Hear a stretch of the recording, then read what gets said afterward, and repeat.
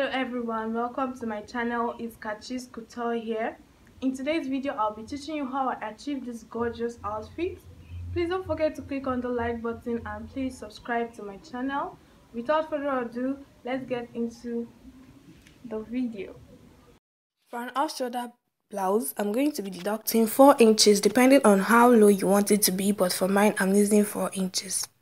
From my shoulder to my under bust is 11 inches I'm going to mark 11 from my shoulder to my armhole I have 8 inches. Then we have my under bust and my armhole. Now I'm going to be placing my shoulder measurement which is 7 plus 1 inch so in allowance I have 8 inches. Now I'm going to be connecting the points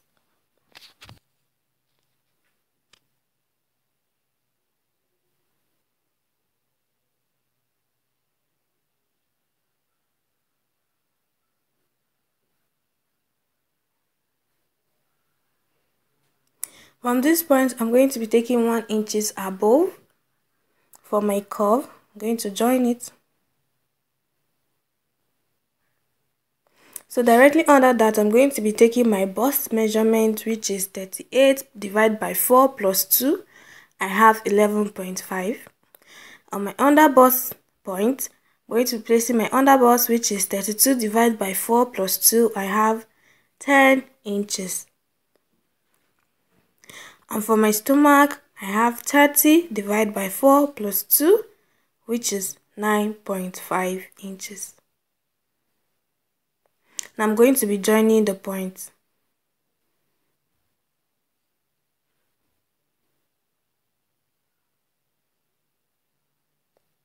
Now we cut.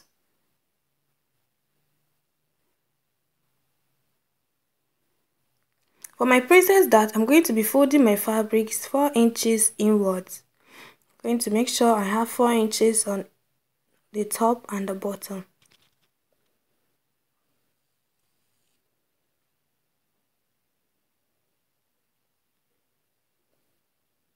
Now from the point where I marked my under bust, I'm going to take 3.5 inches, 3.5 inches downwards.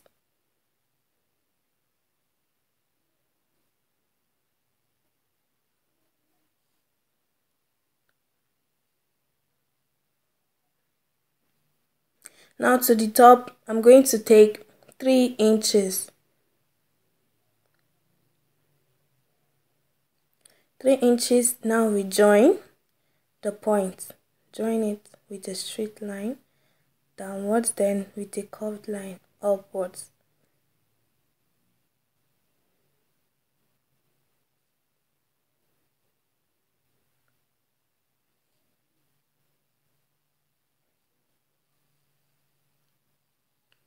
Okay, so from the under bust point, I'm going to take 0.5 inches inwards just to get some extra curve and mark it down to the point where it meets the other line.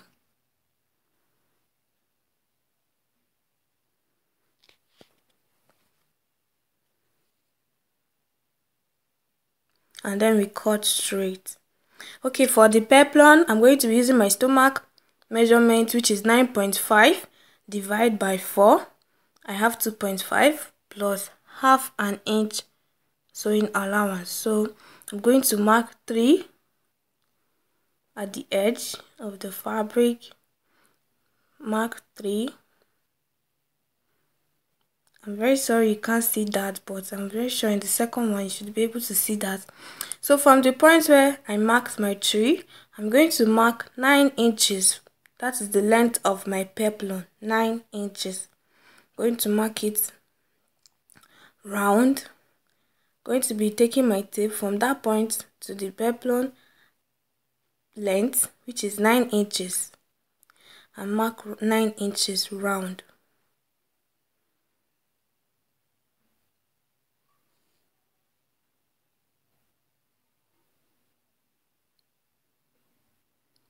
So we join the marked points. And then we're going to cut.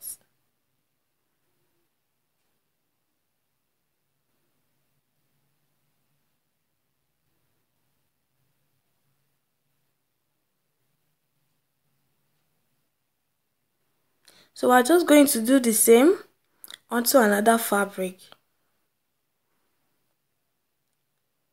while I open this and check if it's 9.5 yes we have 9.5 over there.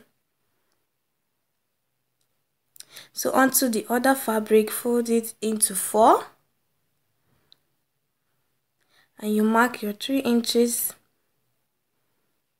for the same stomach measurement we have three inches. Then you join it? From that three inches we mark our second peplum we're going to be using six inches then two inches for the fold to hem the at the end.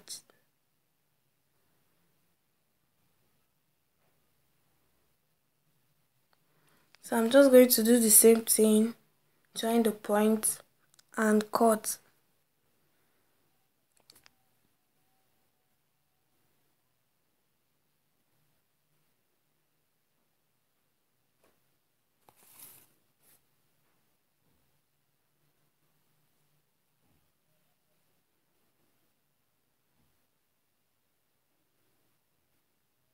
So for the peplum, I made extra 2 for both of them because I needed my peplum to be very full. So I, I made extra 2.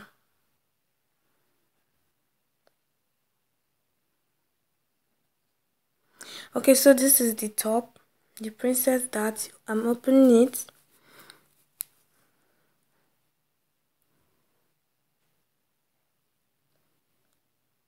We're going to be sewing through this part.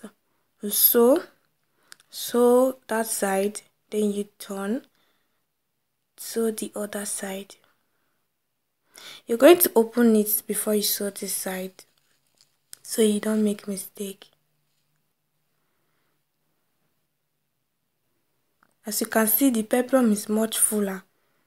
I joined them already so you are just going to place the first one down sew it round.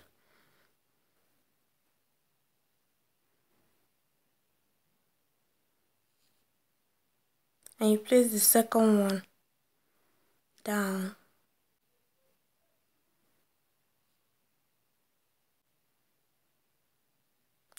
So for my skirt my skirt length is 21 plus 1 inch sewing allowance I have 22 I'm going to be taking 2 inches for zip allowance. I'm going to fold it in.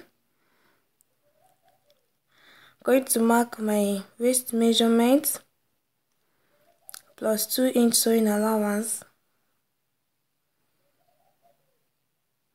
From my waist to the hip I have 10 so I'm just going to mark from the waist to the hip 10 inches downwards.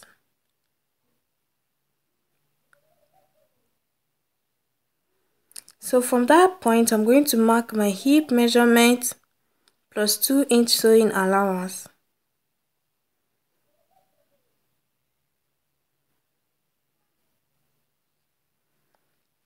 Okay, for the fitness downwards, I took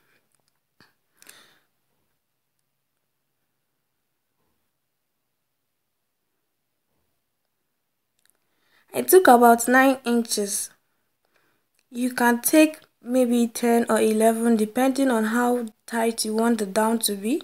I took 9 inches plus 2 inch sewing allowance. Now I'm going to be joining the point where I have the sewing allowance. You don't want to join the inner one to avoid errors. So I joined the point where I had the sewing allowance.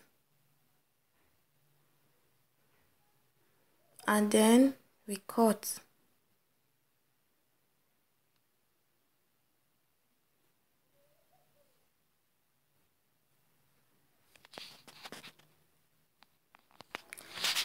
So I'm just going to take the part where I have my zip allowance and open it open it up. I cut through to open it up. Since we have the zip allowance there so we have to open it for the back of my top I deducted the 4 inches already. I marked my armhole and my underbust. I used 12 this time around for the back. Then I measured my shoulder which is 8 just the same thing I did for the front connecting it doing your 1 inch above curve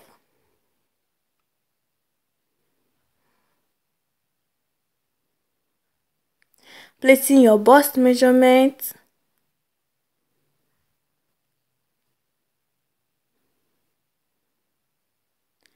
Plus the 2 inch allowance.